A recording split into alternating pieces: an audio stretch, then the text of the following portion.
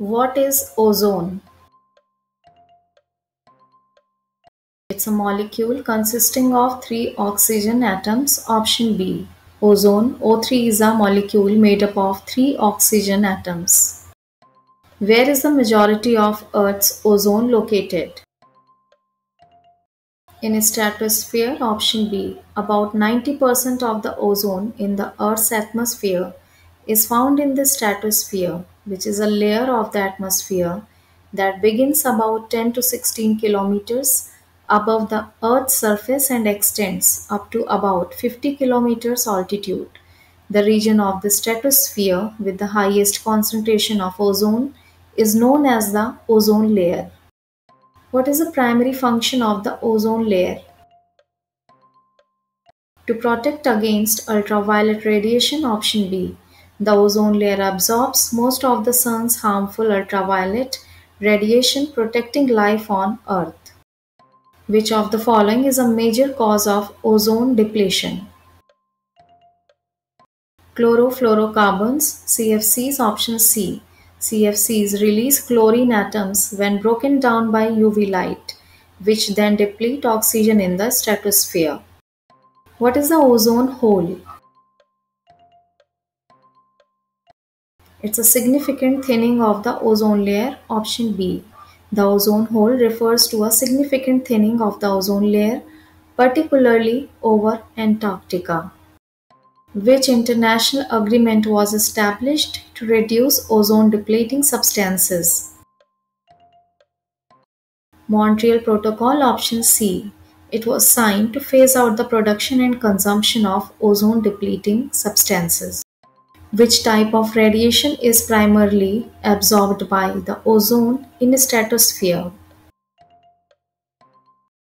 Ultraviolet radiation Option C. Ozone absorbs the majority of the sun's harmful ultraviolet radiation. Which of the following chemicals does not contribute to ozone depletion? Hydrofluorocarbons HFCs Option B. HFCs do not deplete ozone but are potent greenhouse gases. CFCs, halons, and methyl bromide contribute to ozone depletion. What is ground level ozone commonly considered as? Bad ozone option D. Ground level ozone also known as tropospheric ozone is considered bad ozone because it's an air pollutant. It's created when pollutants from cars, power plants and other sources react in sunlight and stagnant air. Which of the following health issues is associated with high levels of ground level ozone? Respiratory problems Option B. High levels of ground level ozone can cause respiratory issues including asthma and reduced lung function. Which of the following contributes to the formation of ground level ozone? nitrogen oxides and volatile organic compounds. Option B. Ground level ozone forms when nitrogen oxides and volatile organic compounds react in the presence of sunlight. What is the main consequence of ozone depletion for living organisms? Higher exposure to ultraviolet radiation option A Ozone depletion leads to higher levels of ultraviolet radiation reaching the Earth's surface, which can harm living organisms. How does ultraviolet radiation affect human health? It causes skin aging and cancer. Option C. Excessive exposure to UV radiation can lead to skin aging, sunburn, and an increased risk of skin cancer. Which of the following human activities is a significant source of ozone depleting substances? Using refrigeration and air conditioning systems. Option D. Refrigeration and air conditioning systems historically used CFCs and other ozone depletion substances. What is the process by which ozone is naturally formed in the stratosphere? Option A. Photo dissociation of oxygen molecules. Ozone is formed when ultraviolet light breaks down oxygen molecules O2 into individual oxygen atoms O, which then bond with other oxygen molecules to form ozone, that is O3.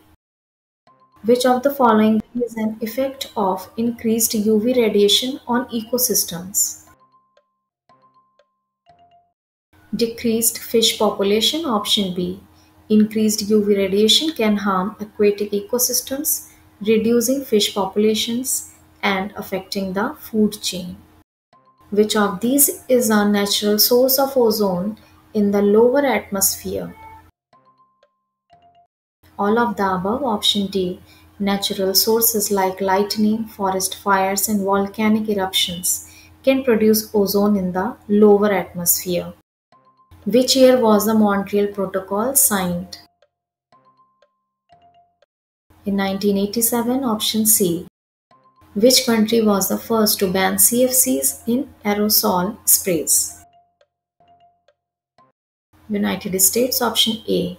The United States was the first country to ban the use of CFCs in the aerosol sprays in 1978.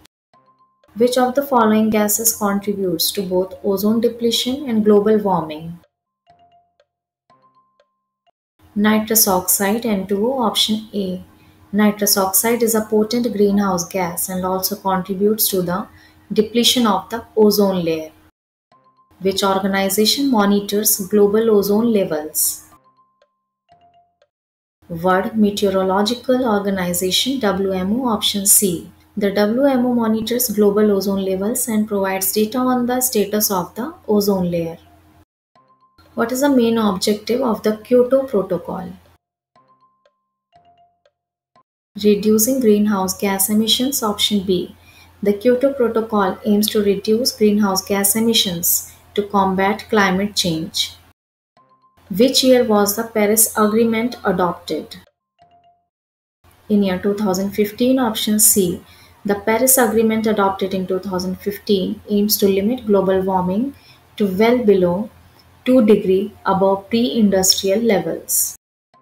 Which protocol is an amendment to the United Nations Framework Convention on Climate Change (UNFCCC)? Kyoto Protocol Option D.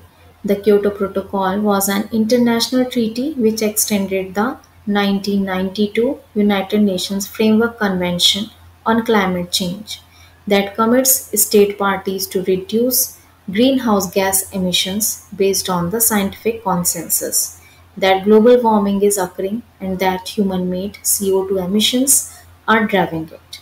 The Kyoto Protocol was adopted in Kyoto of Japan on 11 December 1997 and entered into force on 16 February 2005. What is the main focus of the Basel Convention? Hazardous waste management Option B.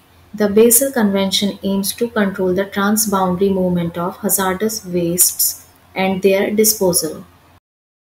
Which protocol aims to control the trade of hazardous chemicals and pesticides?